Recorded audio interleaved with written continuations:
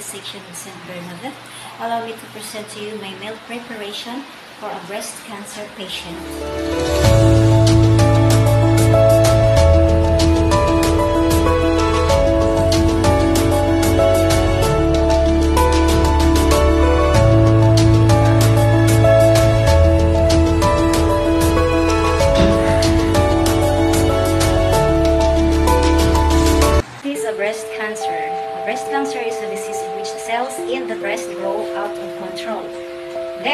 Different kinds of breast cancer. The kind of breast cancer depends on which cells in the breast turn into cancer. Most breast cancers begin in the ducts or lobule. If you find a lump or other change in your breast, and then if a recent mammogram was normal, make an appointment with your doctor for prompt evaluation. A breast cancer patient must eat foods rich in protein such as chicken, fish, pork, beef, lamb, eggs, milk, cheese, beans, nuts or nut butters, and soy foods.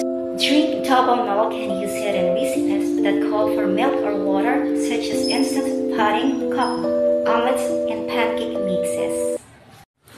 And if you're going through breast cancer treatment, it might be hard to eat the way you typically do. The disease can make you feel too fatigued to go to grocery shopping, let alone cook. Some breast cancer treatments can also leave you with nausea, low appetite, and a sore mouth. However, eating a balanced diet is particularly important when you have a serious disease like breast cancer.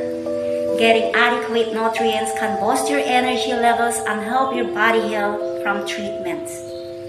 When you're living with breast cancer and undergoing treatment, you might not always feel up to spending lots of time in the kitchen, and that's okay. You may be able to arrange for food delivery from a professional service or ask loved ones to pitch in. But when you are feeling well enough to cook, here are some specific recipes that can help you adjust to certain challenges of breast cancer.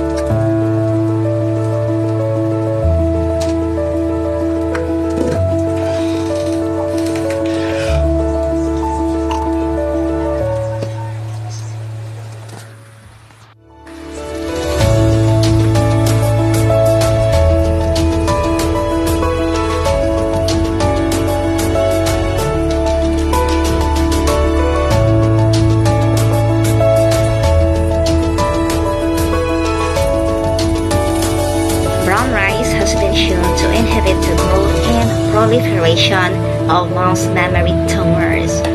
Phytic acid found in rice bran has been shown to induce marked growth inhibition in breast cancer cells without harming normal cells. A study that examined the anti-cancer activity of eight brown rice phenols, that is beta-catechoic acid, p-coumaric acid, ferulic acid, cyanotic acid, phenolic acid, methoxycinnamic acid, and tricin, found that ferulic acid and tricin each were effective in reducing the colony-forming ability of triple negative breast cancer cells.